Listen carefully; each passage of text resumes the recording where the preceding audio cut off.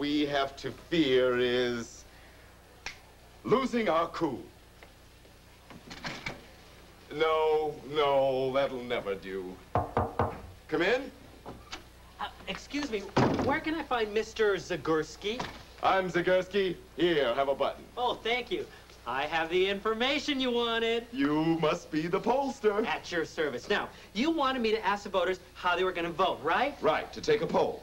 Right, well, of course I couldn't ask all the voters how they were going to vote because that would take all month. So I asked a small sample, you know, a percentage of the voters. Which may give us an indication of how all the voters might vote. Exactly. And you'll be glad to know, sir, that according to my poll, you received 90% of the votes. 90%? 90%! I don't believe it. I'm going to be the next mayor. Wait, wait, now, uh, exactly who did you poll? Well, I had to start somewhere. So, I phoned everybody in town whose last name begins with a Z. You what? Well, it's a very small sample because you see, sir, there are only 20 people in this town whose last name begin with a Z. And they're all my relatives. Papa Zagurski, Grandma Zagurski, the Zagurski cousins. that explains it. Explains what? Well, why are you're so popular. Four people told me to send you their love, and one person told me to give you a big kiss. Mom. Do you want it? No, not right now. Well, I guess my sample wasn't very representative of the entire group of voters, because I don't think the town is as crazy about you as your family. Your poll doesn't tell us anything. You're going to have to do another one. You're right, and I'm going to get right on it. Good. So tell me, who are you going to vote for? You can't ask me. That's right, because you're you. I'm sorry, Mr. Zagurski. I was just trying to get a head start. Bye.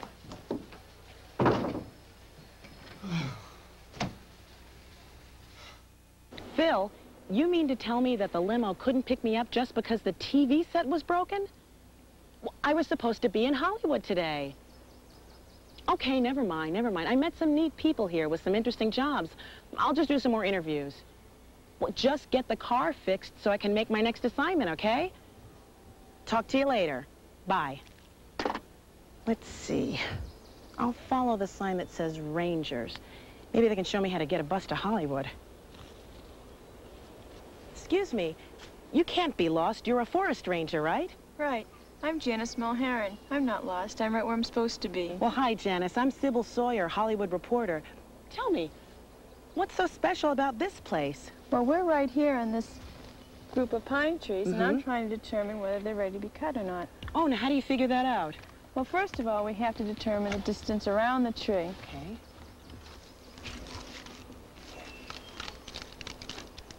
Now, this tree is three feet, three inches around. I determine the age of the tree using this. And what this does, it, it bores into the tree and we remove a small piece. And then we can count the growth rings.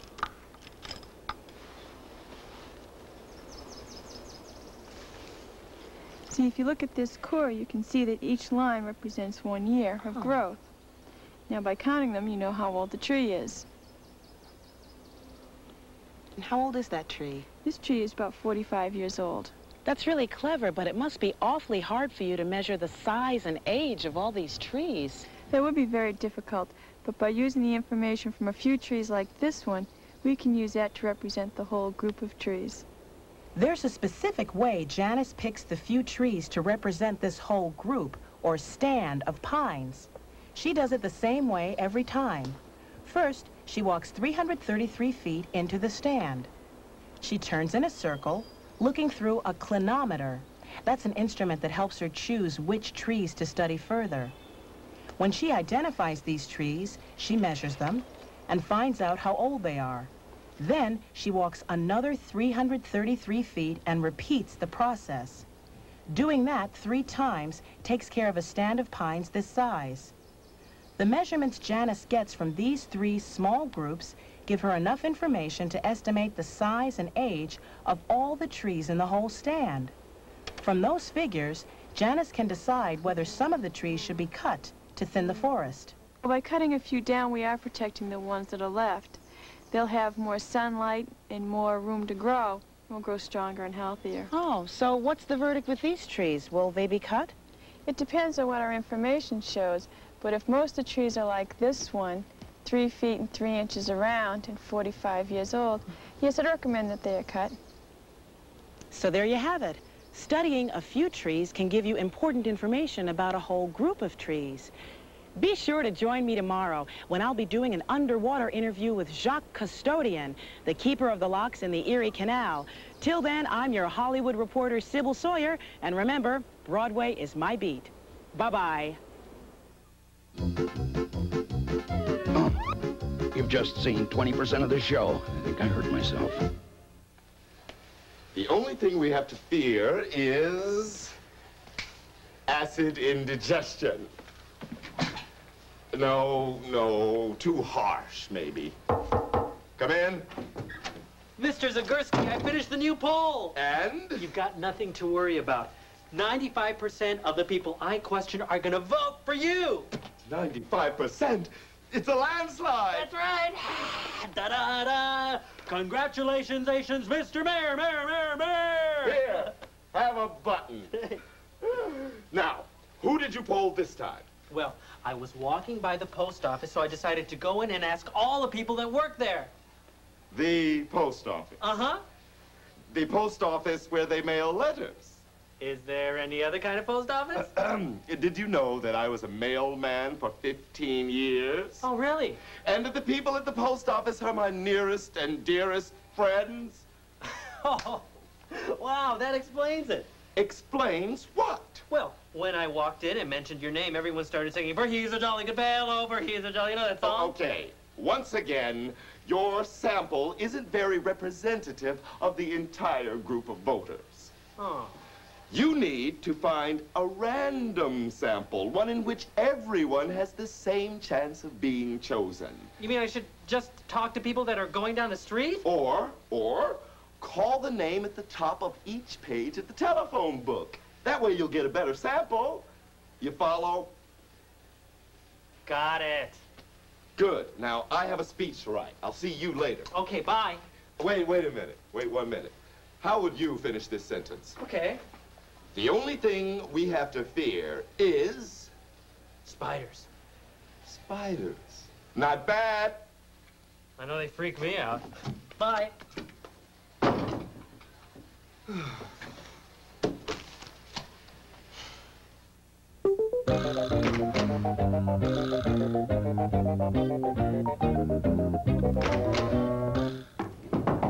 Hello, come in.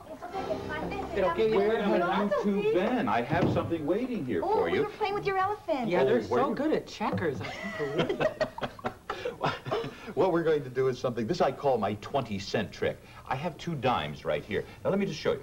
If I place the two dimes in there and it, I call that my 20 cent trick because the dimes change into 20 Oh, cents. Wonderful. Now we're going to do a thing that I call coin mind reading. I want you to help me out. Chris. Da-da-da-da. I want you to remove a few from this group of 20 and put them in your pocket so that I don't know how many there are on the table. Okay. So we'll start with an unknown number of coins for me. Okay. Just put a few away. No Okay. peeking. Now Fewer count the number to yourself that are left. Okay. Just to yourself. Don't say it out loud. I don't want to hear it. I know that's hard not to talk for you, Chris. Yeah, that's, that's a real challenge for me.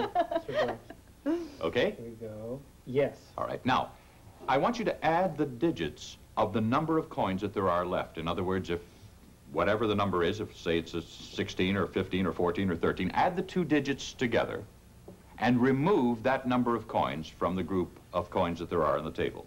And put those pennies in your pocket as well. Okay. Have you done that?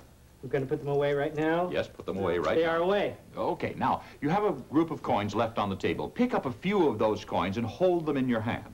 Any number. Uh, okay. Okay? Now, I'm going to tell you how many there are. Think, just concentrate on the number of coins. You have six coins in your hand. Is that Let's correct? see. Put them down on the table. Let's see. We have one, two, three, four, five, six. Oh, I don't believe that. How'd you do that? Oh, that's magic. No, I'll tell you how it was really done. What happened was that when you had 20 coins down there and you removed a few, I mm-hmm. asked you to then add the digits of the remaining number. Correct. The sum of those digits was then removed and will leave nine coins on the table because If, for instance, you removed 3 from the 20, leaving 17, you then add 1 and 7, 8, remove that from the 17 coins, it leaves 9. When you then picked up a few coins, I saw how many were left by secretly counting those coins. You had six because I saw that there were three left on the table, so therefore I knew exactly how many you had. it will work with oh, any set of That numbers. For instance, if you were to remove four coins, leaving 16 coins, adding the one and the six would be seven. Subtract seven, then from the total number that would be there would leave nine, and then I always know that you would have a few left in there. You see what I mean? Right. And so it makes it very oh, easy to... Oh, my goodness, what's I, I happened? think the magic rope got out of hand. Oh, I'm terribly sorry that you're all tied up in your work. you know, this is how Harry Houdini got started. Come on, Yes. the rest of it.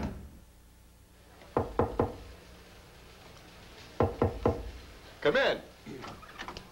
Mr. Z, I'm back. Good to see you. Ah, I see you have a button. oh, always, always. Now, tell me, did you do a new poll? Yes, I did. And was it a random sample? Yes, it was. I just opened the phone book and put my finger on a number without looking, and I did it 20 times. Now, that's a better sample. Mm. Tell me, uh, what were the results? Uh, you haven't got a prayer.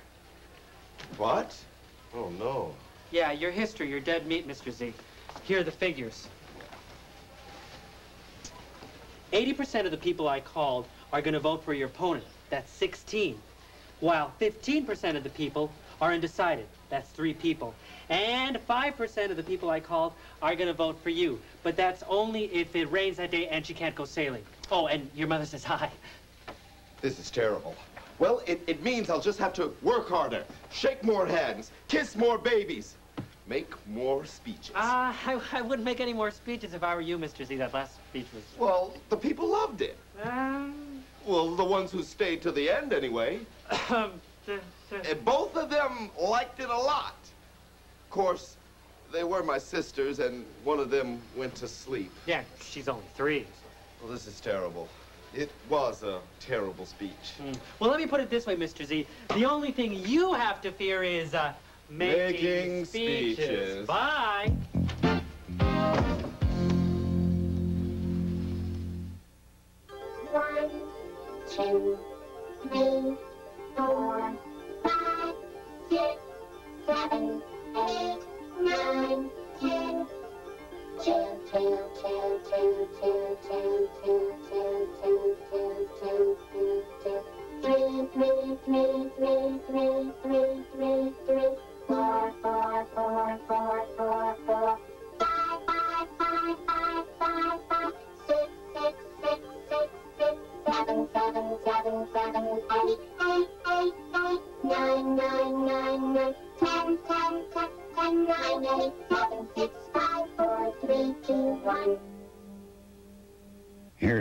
Send secret messages.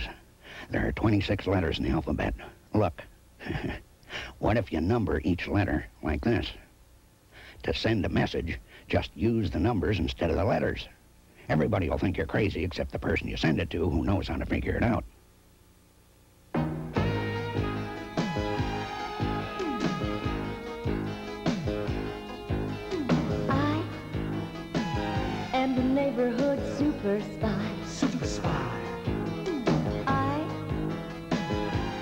Undercover kind of guy. Undercover kind of guy.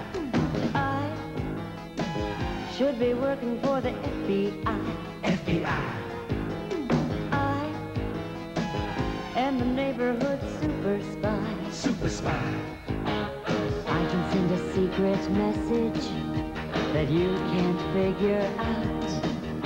If you don't have my secret code, you won't know what I'm talking about. It looks like only numbers, but it's a super secret plan.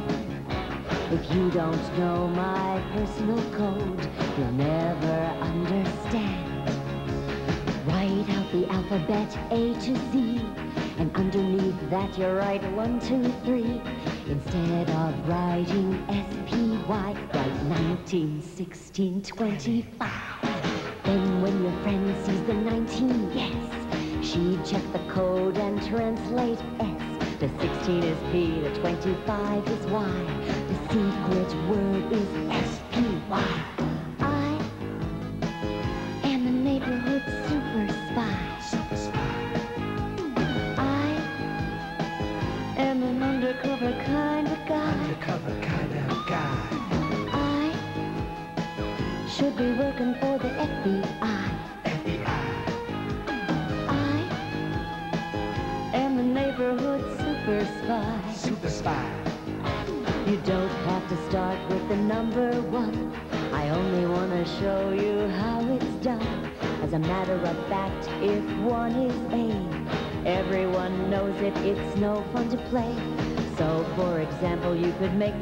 The A a 10. When you get to the R, you start with one again.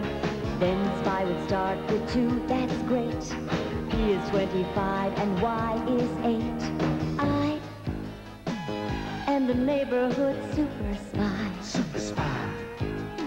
I am an undercover kind of guy. Undercover kind of guy. I should be working for the FBI. FBI. Am the neighborhood super spy. Super spy. Choose a number for the A, any one of many picks. Keep adding one till you get to 26. Start again with one and stop when you see the last of the alphabet, the letter Z. All you need to know is the number for the A. You're ready to send a message away. You can send secret messages to and fro, just like a real spy, just like a real pro. I am the neighborhood super spy. Super spy. I am an undercover kind of guy. Undercover kind of guy. Should be working for the FBI. FBI. I am the neighborhood super spy. Super spy. I am the neighborhood super spy. Super spy. I am the neighborhood super spy. This just in. Not always, but sometimes when you're doing more than one operation, the order you do them in is important. I'd like to order a pizza. It's not funny. Film at 11.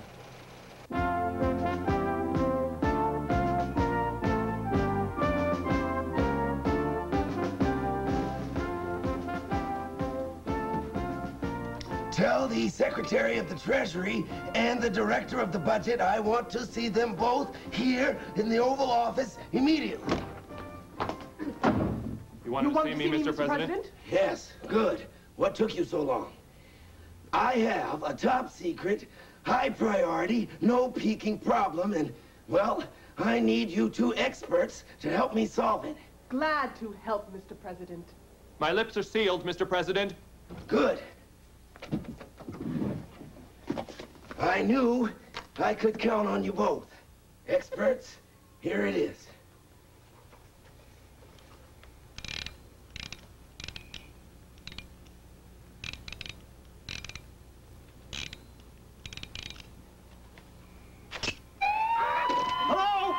Hello? Gentlemen, please, please, experts.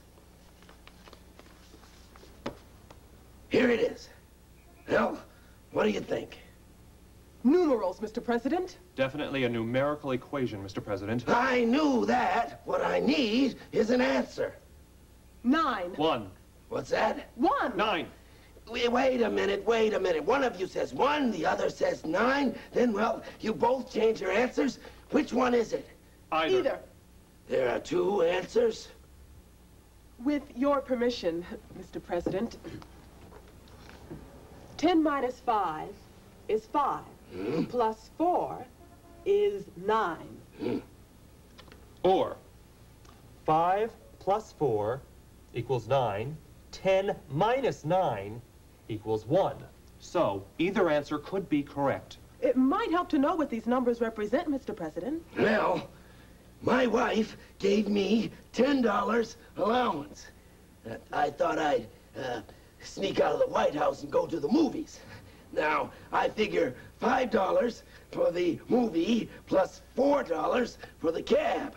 And what I need to know is how much is going to be left over. Now, did I put the uh, numbers down wrong? You put the numbers down correctly, Mr. President, but you forgot the parentheses. The parentheses? Yes, parentheses tell you what operation to do first. You're going to spend five for the movies plus four for the cab. Five plus four is nine, and ten minus nine equals one. And that is the answer for this particular problem, Mr. President. Hmm. Memo for the Pentagon. When in doubt as to which operation to do first, use parentheses. Darn! I was hoping I'd have $9 left over. Then I could buy that 20-pound bag of jelly beans.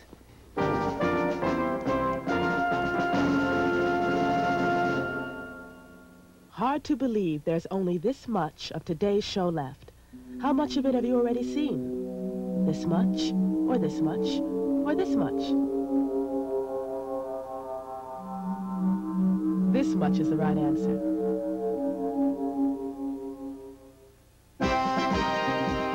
The story you are about to see is a fib, but it's short. The names have been made up, but the problems are real.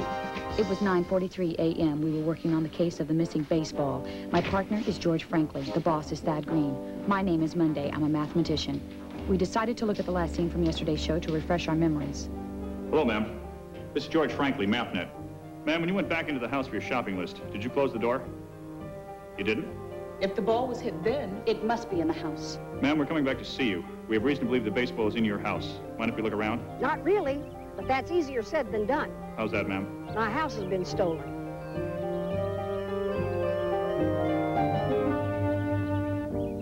Tuesday, 10.22 a.m. We decided to question Mrs. McGregor about her problem.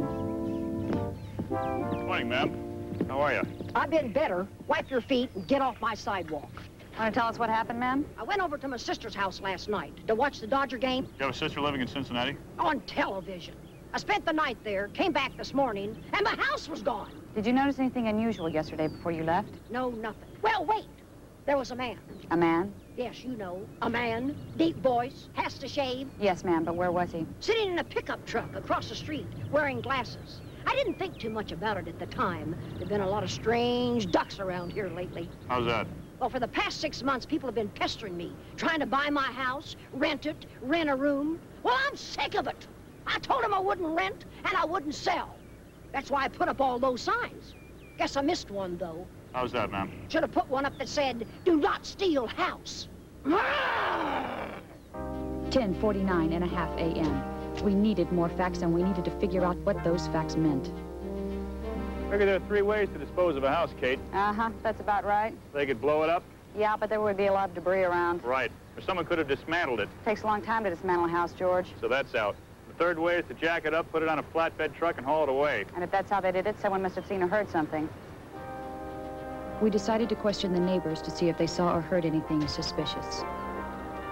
Morning, sir. We're MathNet working on the case of the missing baseball. I wonder if you could help us out. I'm not very good at finding missing baseballs. Yes, sir. I found a missing golf ball once. Uh-huh. It was in the weeds. Yes, sir. It was, you know, round. Most of them are. What a day that was. Last night, sir, were you home and did you see or hear anything unusual? Yeah, I was home. I was watching a Dodger game. You live in Cincinnati? No, it was on television. Yes, sir. Did you hear anything suspicious? Like what? Oh, maybe a house being stolen? No, nothing like that.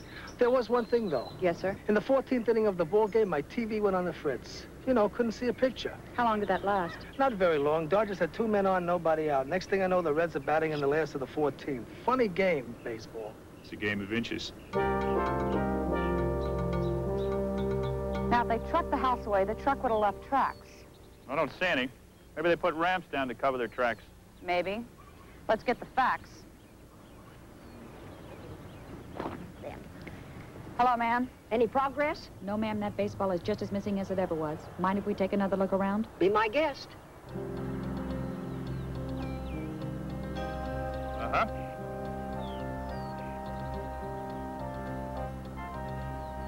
Ever seen these glasses, ma'am? Nope. Oh, wait. They look like the glasses that man I was telling you about was wearing? Deep voice, shave. That's right. What would they be doing here? We'll have the boys in the lab run a make on them. Come on, George. Let's roll. Yeah, but...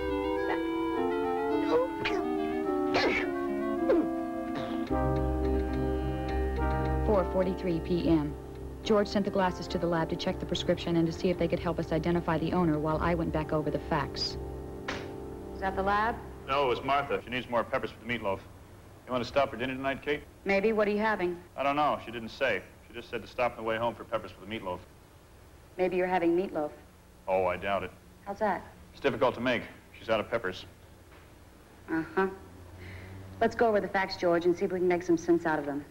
The ball was lost yesterday. It probably bounced off the sign. Right. Ricocheted over to Mrs. McGregor's porch, probably right through the open door, so it's inside the house. Right, but the house is missing. What does that tell us? Somebody wanted that baseball real bad. What else? We find the house, we got the ball. Okay.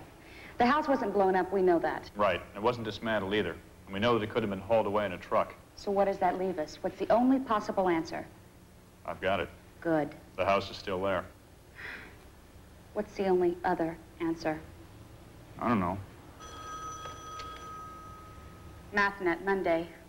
Oh, hello, Howie. No, no luck on the missing ball yet. Hmm. We'll keep in touch. I understand. Howie? Yeah. His dad's due back in three days. If we don't find that missing baseball, Yeah? his father's going to turn him inside out. Stymied, Kate. The house with the ball in it is gone. It's just gone. It couldn't have just flown away. Or could it?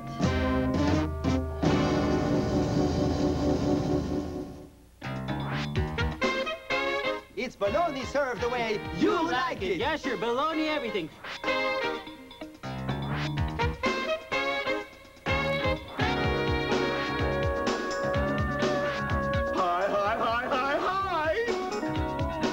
Kate Monday, Mathnet. I understand you have an XY313 for rent. Uh-huh. Didn't happen to rent it a couple of nights ago, did you? Uh-huh. Could you tell me who you rented it to? I'm sorry. Could you tell me to whom you rented it? 100% of Square One TV is a production of the Children's Television Workshop. This program was made possible by grants from the National Science Foundation, the U.S. Department of Education, the Corporation for Public Broadcasting,